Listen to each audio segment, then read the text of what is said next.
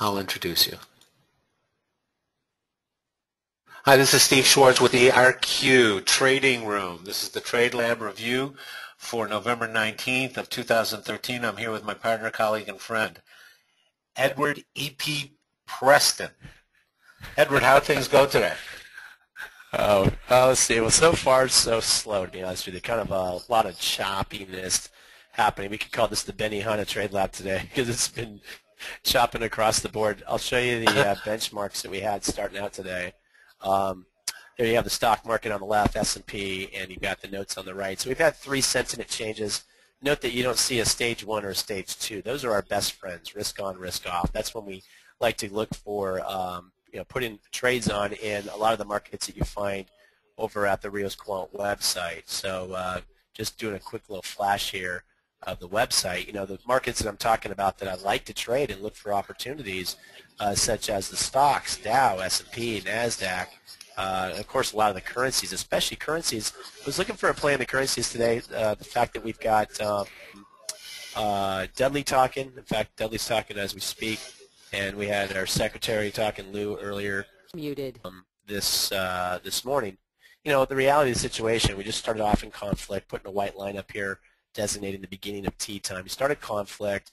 Uh, treasuries went into the neutral. Looked like you know we're going to get good here. Treasury's going to go bullish. Stock market here looked like okay, good. We're going to see the stocks dive, and we'll go put some stock trades on if the treasuries went up. But they didn't. It was kind of like they stopped it or stopped it. making up my own words now. They halted.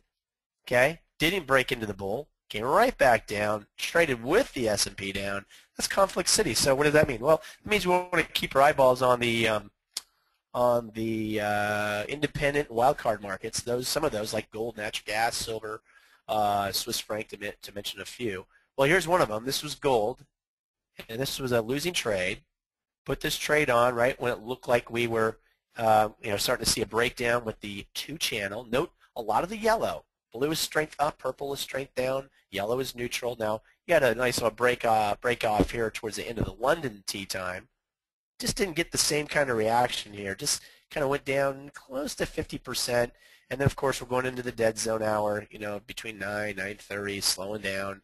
And then the stock market opens at 9.30. Stocks dove. They went down at the open, and that's when the metals went up. Stopped me out right on the inside of the bear level. So it took a loss there on gold for about 310. Uh, just slightly over 1% there for uh, the, the account that I'm managing. And then the other one that was a loser, unfortunately, as well, was natural gas. Natural gas uh, just got the best of me, unfortunately. Did have a breakdown with the levels. I did this based off of a 30-minute time frame. 30-minute time frame, you'll see the breakdown of the lower channel, and uh, uh, got stopped into the trade. And unfortunately, in the next half hour, this thing came all the way back up. Now, there's two ways of looking at this. You can say, well, wow, you know that the levels are that good. Why didn't you place a buy stop above it? Reason why I didn't today is because the circumstances that were happening at this point in time, I lowered, cut my losses shorter. I anticipated that this thing was going to go actually a little bit higher than that. Well, my anticipation was was off, right? Um, as far as my stop goes, I did put a, a smaller stop, but that conservative measure, if you will, uh, got the best of me. You can obviously see where this thing went, right to support. So, you know, next time maybe I think, well, maybe add another 50 bucks of risk. An additional $50 of risk obviously could have yielded me what I lost in the gold, but it didn't. So unfortunately lost about a buck 80 there. Um, those are the only two trades that we've had so far. We've come close to getting short the Dow. I'm going to cancel that now. And we've come short to, uh, uh, or close to getting into some others. The only other one to talk about, man versus machine. The machine today is Einstein. Einstein is currently short gold, I'm sorry, corn. Uh, it's got about 50 bucks in its favor. You can see where the target is down there near 409 and a quarter.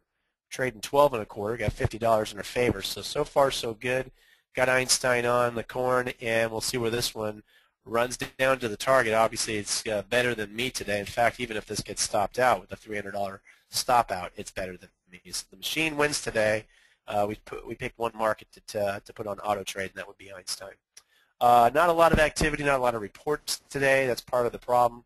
Got FOMC members talking and you know kind of just putting everything in a neutral mode, if you will. Good news is we got some reports tomorrow. Uh, hopefully we can put the throttle down tomorrow and uh, make back for the losses today. We'll see you guys all tomorrow in the trade lab. Thanks, guys.